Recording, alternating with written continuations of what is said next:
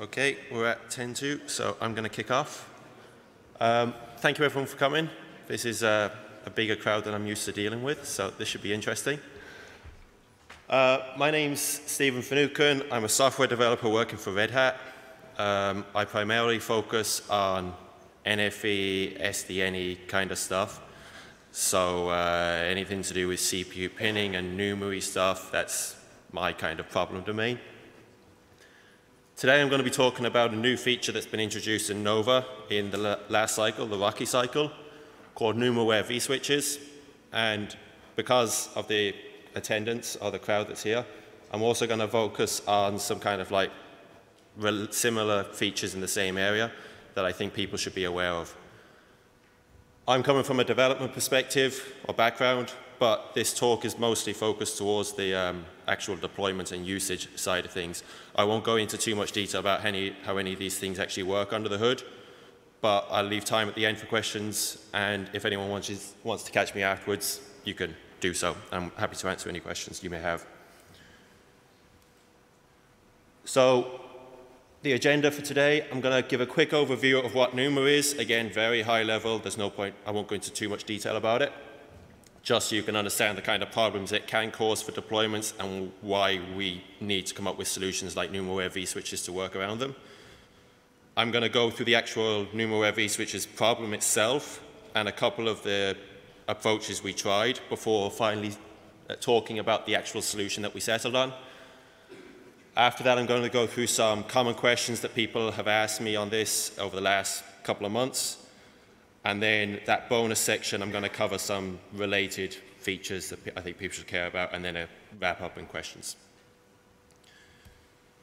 So, start, starting from the top, what is NUMA? So it stands for Non-Uniform Memory Architecture, and it's a computer uh, processor architecture that's uh, seen common adoption uh, on platforms in the last decade or two.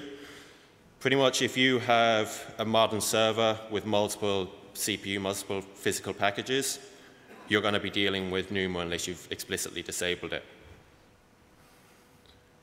From a graphical perspective, this is essentially what it looks like. You have at least two nodes and processes running on one node, be it a physical socket or a die within two or within the same package.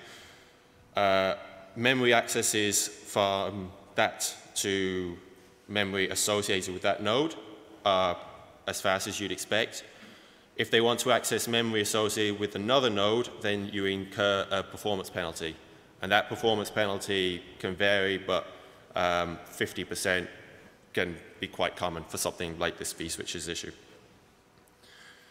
If you're talking about multiple sockets, uh, this has changed with Intel processors over the last year. It's more of a mesh topology now, but um, jumping between different NUMA nodes, it can have an increasingly the negative effects on your performance.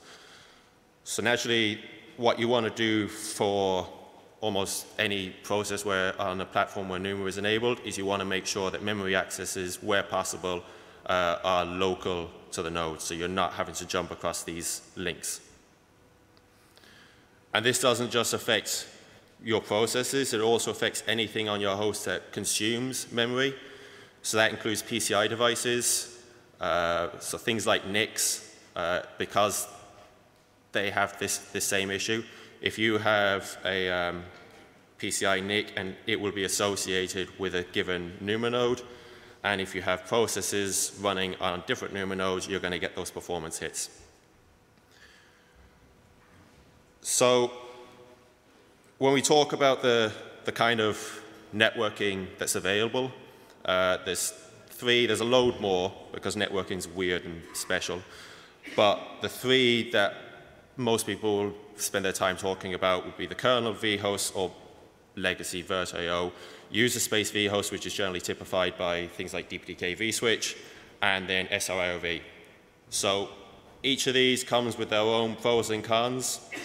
I've listed kind of flexibility versus performance, but there's a lot more that has to be taken into consideration. Um, including cost and things like this. The main comparison, uh, or the most useful comparison here is between user space vhost and SRIOV because these would be the most likely ones you'd see in a deployment, uh, and SDN, NFV based deployment. So if we have a look at, uh, let's say this, this diagram, two VNFs, uh, you've got two physical networks, and then you're going to have traffic going between the VNFs and the physical networks, plus some management stuff, which we're going to forget about. Because we have this NUMA topology thing that we need to be concerned about, that previous diagram ends up looking something more like this. So unless you've specifically said otherwise, each VNF and instance is going to be running on, um, is going to be isolated to a single host NUMA node. And what you don't want happening is you don't want your VNF running on a different uh, NUMA node to uh, where your NIC is, where all the traffic is ingressing and egressing from the host. Naturally, you want to co-locate those stuff on the same NUMA node. And for something like uh, SRIOV, this is pretty easy to do because Nova, since it included or added support for SRIOV and PCI pass-through, it's taken NUMA topologies into account. There's actually an uncomfortably tight coupling between NUMA and things like CPU pinning, which I'm going to talk about later. We're trying to separate that going forward. But if you boot an instance with SRIOV um, interfaces, you will get NUMA affinity. It won't let you boot that instance unless you don't, you can get that NUMA affinity. But that's not the case for uh, something like OVS because Nova doesn't have that view into what NICs your chosen vSwitch platform is actually using. Uh, and obviously, I'm going to go into this now, but we don't want to go and have to teach Nova how to do all of this stuff because Nova cares about compute. It doesn't care so much about networking. So how we attacked this problem and came up with a solution. The solution that we landed on obviously wasn't what we arrived at day one. This was built up iteratively by looking at um, various different choices that we had. Starting off, we're talking about vSwitches. Nova should, doesn't need to know about networking, therefore the simple answer would have been, well, we can let Neutron do all of this for us. Uh, the issue with this is that you need to think about what Nova is aware of and what Neutron is aware of. So Nova knows things about compute resources, so basically um, what kind of basic resources you have available to you, whether you're using libvirt or QEMU, just raw QEMU, that kind of thing. It also knows things like NUMA topology because it has that um, introspection through the libvirt API or the Xen API API, uh, and so forth. And Neutron doesn't know any of this stuff.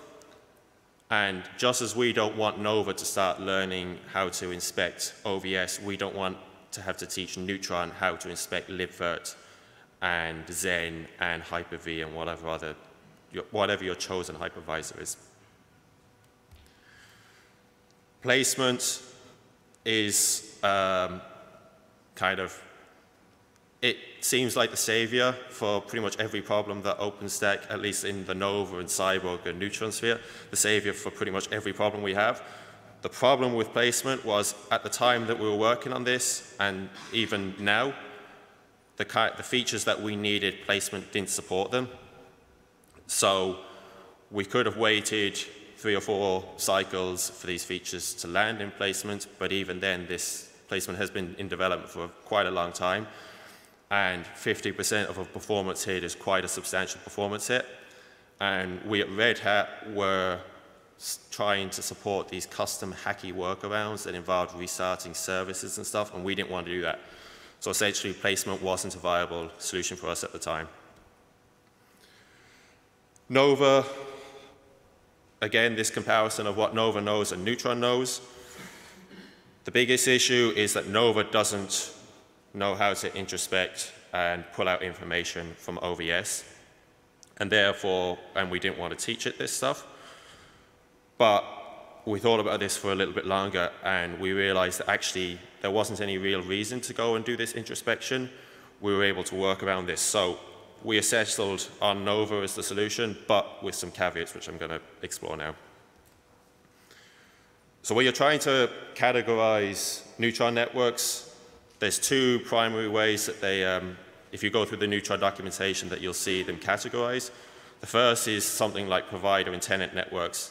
There's a load of other stuff. I found it quite interesting when I was working on this that I was talking to Neutron cores and asking them questions, and before long I started getting back, we don't know, as an answer, which was quite interesting.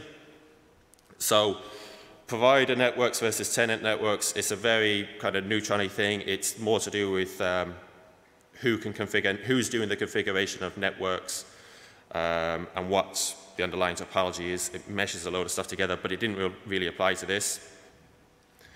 Pre-created networking and self-servicing networking again didn't quite map up to what we wanted. What we actually wanted to know was um, whether a network was an L2 network, use something like a physnet, or whether it was an L3 network. And the reason for that is because whether it's an L2 network or whether it's an L3 network determines um, how many NICs uh, your network is allowed to use and how they're configured and accessed. So if we look at the sample configuration, this is from um, one of the uh, configuration files for Neutron. If you're using the uh, ML2 OVS plugin, this configuration option maps an OVS bridge, which I guess you consider like your primitive, to a Neutron physnet tag. So it says if you have traffic going through this physnet, this is where it should get tunneled in and out of. From the Nova side of things, we introduced uh, a new configuration option and dynamic groups. And what the configuration option let you do is you said what physnets were available or accessible on your host. And then a plain old, this is what NUMA nodes that this physnet maps to, this is what NUMA node this physnet maps to, and so forth. Um, the advantage of this approach is we didn't need to teach Nova how to do that neutron inspection. I didn't need to learn to, how to go and use the OVS DB APIs and import a load of code from Neutron or redevelop code. And uh, any deployment tool worth, worth its salt is that's doing configuration of these networks anyway. So that already knows all this information about um, what NICs you have on your host and is able to introspect and find out like what the NUMA node is and stuff. So this moves it from uh, something that has to happen at runtime to something that you can uh, configure as part of your deployment tooling. Uh, an interesting point that came up uh, during this is in real productions, most people tend to use um, NIC bonding to make sure that they have um, like ac active, passive failover and fancy networking stuff. So we uh, made sure that this NUMA nodes configuration option was able to be a list. So if you had multiple NICs connected, and for some reason you decided you wanted to place them on different NUMA nodes for whatever, um, you would be able to do that without, uh, you would be able to do that. Without this uh, option, you wouldn't be able to do that. L3 networks are a little bit different. So where with L2 networks, you can they'd be typified with having multiple physnets on a host. Um, L3 networks, they all have to go through the same endpoint.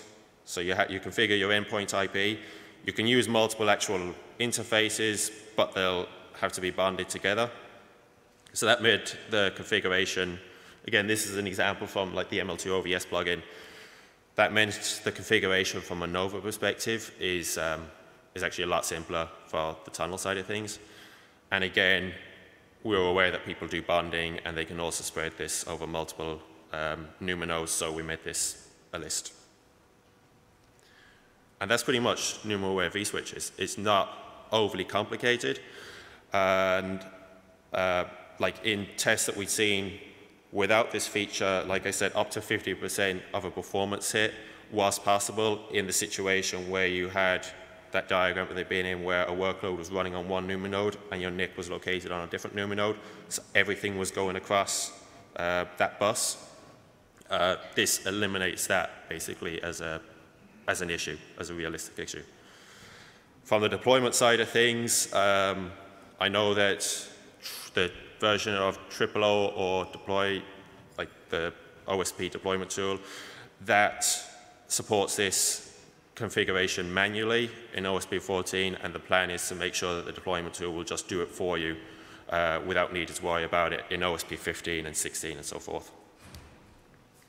So a couple of the common questions that I've been asked about this is A, why is it so manual? Um, it, does, it is a pretty low-tech solution given the solutions that had been proposed. The reason for that is going back, deployment tooling knows all this information already. Uh, we didn't feel that there was a need to introduce um, a whole load of additional complexity into either Nova or Neutron and teach those systems about things that they previously didn't know about. Placement, you can automate all of this, and we're exploring doing that in TripleO going forward. And placement was explored and was looked at in great detail. We made the determination that it wasn't quite ready for this, but going forward, uh, we will probably be exploring moving this to placement. Uh, I would recommend there's a really interesting talk happening later this week. It's a demo for the bandwidth aware scheduling. All of that uses placement, and I, if anyone here, especially the more technical uh, focused people, is interested in this stuff, I would highly recommend going to that. So outside of NUMA-aware vSwitches, there's been a couple of other uh, changes that have happened in recent cycles all focus on improving the performance or the determinism of um, instances with an NFV focus. The first of these is uh, a thing called configurable TXRX queue sizes. In short, um, if you have an instance running uh, and something on the host or within the instance preempts your standard workload, and you have traffic flooding into that instance, that stop where it gets preempted um, and work happens on something else before it returns to your main workload. You have queues, and those queues can fill up pretty damn fast, which results in drop packets. Uh, from talking to architects, drop packets seems to be like the worst thing that could ever happen. Uh, the solution to this is simply to make queues bigger. Uh, more in all the testing that Red Hat have done and various other companies have done, jumping from the default, which was 256 up to 1024, was seen as sufficient to get the performance that they were, uh, they were demanding. But this is configurable because we're expecting people, like we've moved from 10, G, like 10 gig to 40 gig, and 100 gig is already, I guess, in production, and who knows where it's going to go after that. This is available in Rocky, and a sample configuration uh, is provided there. Uh, another one, this is more uh, useful for people that be thinking about real-time uh, workloads. So if you are running an emulator, the emulator or a hypervisor, the hypervisor itself has to do a certain amount of work whether that's um, basic I.O. or just kind of like cleanup tasks. And these can steal resources from CPUs. And if your CPUs, your vCPUs are running uh, real-time workloads, you don't want anything else stomping on them. So the solution to this, the initial solution at least, was to assign a dedicated core for each instance that all this overhead stuff could get thrown onto and keep it away from your main workload cores. This was introduced in Ocata, but in Rocky we've built upon this uh, so that instead of having a single core per instance, you have, multi, you have a pool of cores and all your workload is, all those overhead tasks are all pooled on this pool of cores. Sample of how you configure the former and a sample of how you configure the latter from the command line. Uh, and for the latter, there's also some Nova conf configuration necessary. And then the last one, which is, uh, this is still under development at the moment.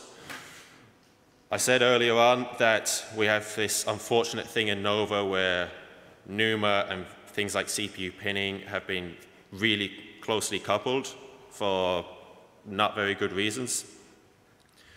We are moving uh, things like bandwidth aware scheduling, that's all happening in placement. We've moved vCPUs, memory, disk, all of that stuff into placement.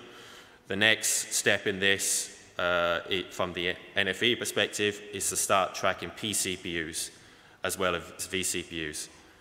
So we're expecting this work to be completed in Stein, and from the user side of things, this will have two implications. The first is that the days of having to split your cloud into hosts that will run dedicated instances with pin CPUs and hosts that will run um, non-dedicated instances, normal shared floating CPUs. That won't have to happen anymore because they'll be able to coexist on the same host. The other thing is that you'll be able to mix um, those pinned cores with the non-pinned cores within the same instance. So you'll be able to say, well, I've got eight cores in my host, I want six of them to be pinned, and then I want two that are just going to be doing OS, internal OS overhead stuff that don't need to be pinned, they can float. And we're going to do all of this through tracking the displacement. It's not completed yet, but this is roughly what it's going to look like. Anyone that's worked with placement before should recognize these kind of commands. And we're going to be, um, this will all be exposed via Nova conf configuration. And the last one, uh, this is my, the personal bane of my life because of the amount of times I've had to support issues around this. Live migration with ish, uh, for instances with a NUMA topology or CPU pinning at the moment is completely and utterly broken, and it has been broken since it was implemented. There's some workarounds that people will do.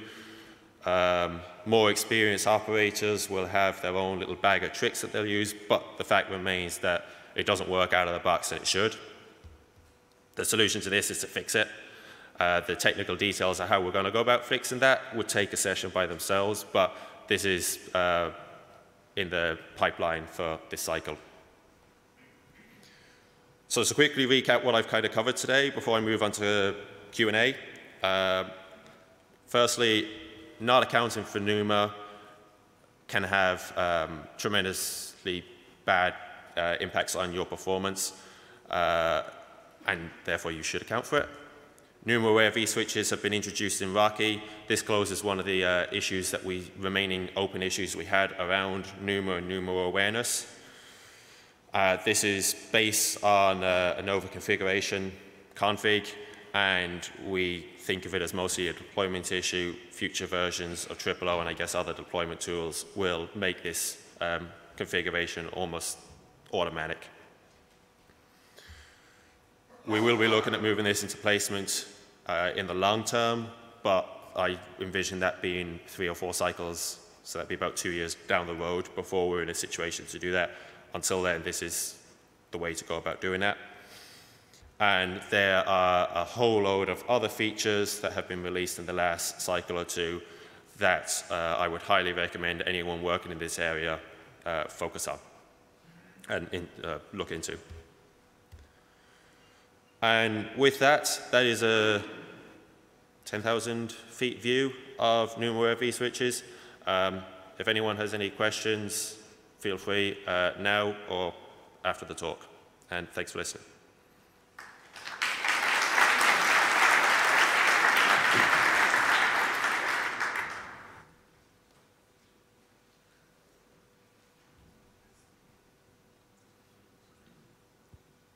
A question. Uh, is, uh, I mean, as you mentioned that some of the features landed on Rocky and some landed on Ocata, uh, is uh, OSP Director uh, upgrade uh, takes care when you upgrade from the earlier version to the version which do support the configuration automatically, or that's need to be done manually and once it integrated uh, with Iraqi from that point on is uh, upgrade both one version upgrade as well as fast forward upgrade handles it?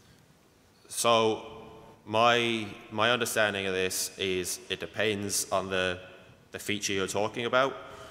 So TripleO will handle migration of, so if you have a feature that existed in one release and it changed to another in another release, then it'll handle the migration between the two of those. But in terms of when you're adding additional features, it doesn't tend to tweak any knobs around that. Specifically the, you know, the NUMA configuration which were introduced. Yeah, no, it wouldn't turn that stuff on by default. Um, that would be, I'm not sure how you'd actually go about doing that, but it would be, an operator would need to supply uh, input to say this is something that needs to be switched on now. We wouldn't do it by default in case we broke something, somebody didn't want it.